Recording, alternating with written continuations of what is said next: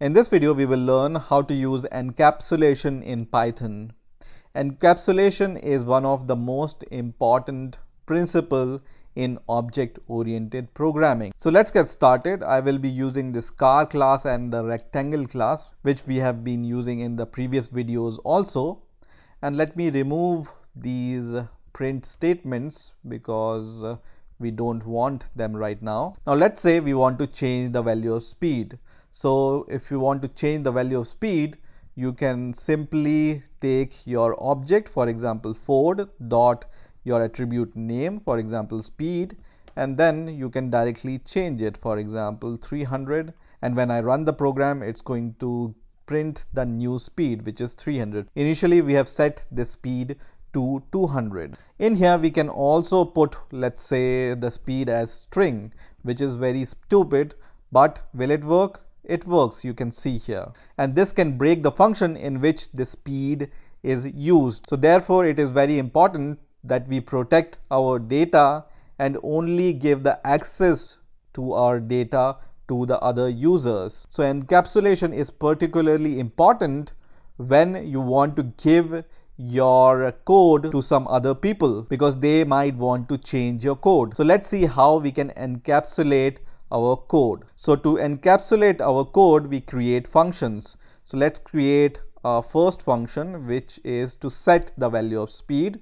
So I'm going to just say set underscore speed and inside the parentheses it's going to take self as the first argument which is the default and second is the value of speed so so i can say value here right and then once we have the value of speed we can just call self dot speed is equal to value. Similarly we can create a get method for the speed. So right now we have created the set method to set the speed and now we are going to create a get method to get the speed. And in order to get this speed we don't need to pass any argument. We just need to return this speed which is already set so we can just write return and then self dot speed so we have created two functions set and get these are also called setter and getter for the attribute which is speed in our case. So let's use these functions instead of uh, this kind of setting of data. So first of all I'm going to call this uh, Ford object dot set speed method out of this object and then I'm going to pass the new speed using this set method. Now in order to get this speed I can write instead of this Ford dot speed I can just write the Ford dot get speed which is going to give me the speed of this Ford object. So I'm going to run the code and you can see it prints the speed which we have set using the set method. But still, will this protect your data? Let's see. So I'm going to once again try to use Ford.speed and then I will try to set the new value of speed. Will it be a problem? No. So you can see when I try to get the speed, the new speed is set and we want to prevent this kind of setting of data using this equals to symbol. So we need to somehow make our attribute private. Now if you are familiar with other object oriented programming languages like Java or C++, they use the keywords like public, private or protected in order to mark their attributes or the member variables as the private or public or protected. But Python doesn't have any of these keywords. So how we can make our data private? So let me give you first of all an example. So I'm going to go to this class which is hello and here I'm going to set some values. So first value is for example self dot a is equal to 10. Second value is self dot underscore b is equal to 20 and the third value as self dot underscore underscore c is equal to 30. So we have created three member variables in this hello class. One is a, second is underscore b and c is with two underscores in front of it and let's try to access all these three values so i'm going to just use the print method and then the hello object dot a.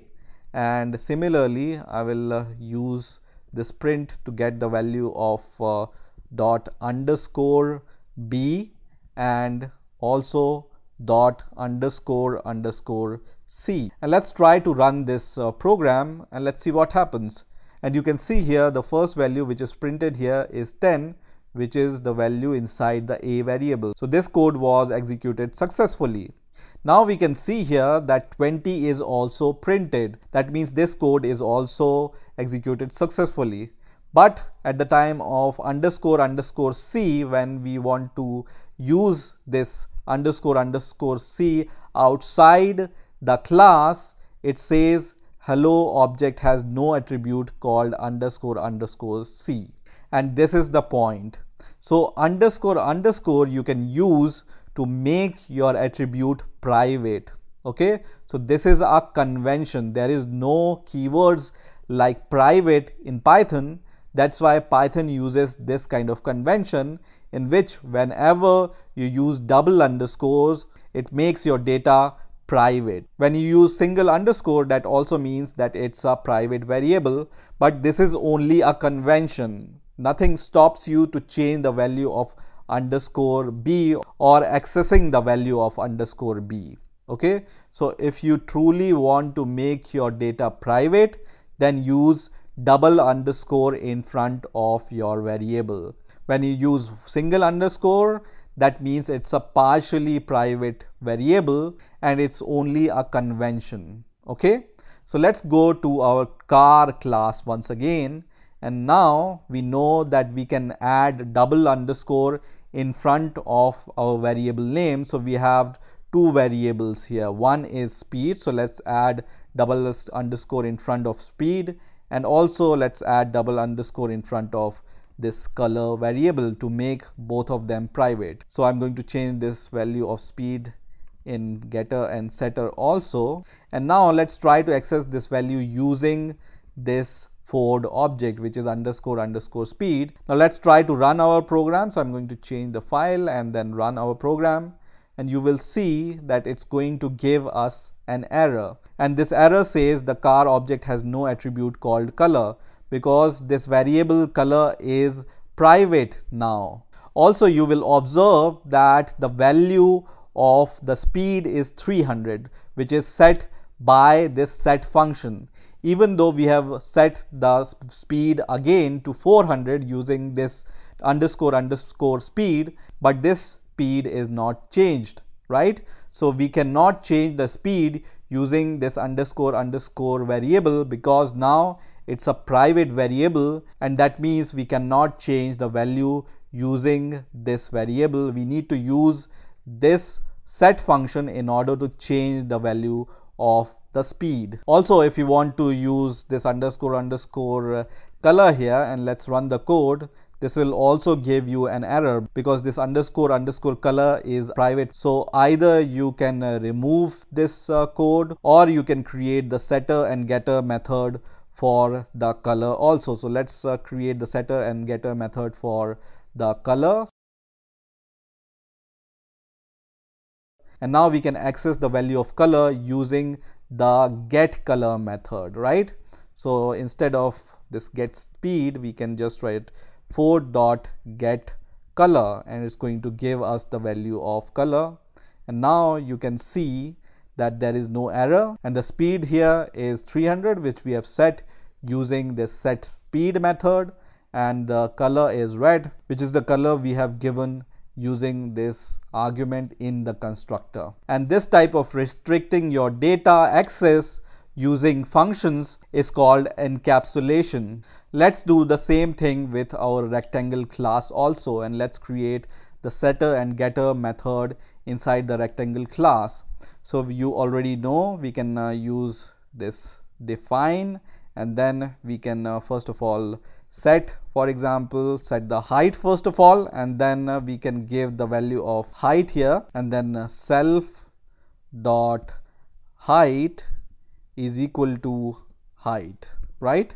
And don't forget you need to give double underscore in front of your attributes in order to make them private. So I'm going to do just that and let's create the get height method also So now we have created the setter and getter for the height and let's do the same for the width also. So now you have made the height and width as private and we have created setter and getter for the height and width. And now in order to calculate the area, we can define one more method here which is the area method. So let's create the area method here. And this area method is not going to take any argument. We are just going to return the multiplication of the height. So self dot height multiplied by self dot underscore underscore width okay which will give us the area of this rectangle and we can call this area method instead of using this kind of notation so rect1 dot area and rect2 dot area also and let's run the code by changing the file name here and run this code and you can see the area is printed now so this is how you can use encapsulation in Python to hide your data. I hope you have enjoyed this video. I will see you in the next video.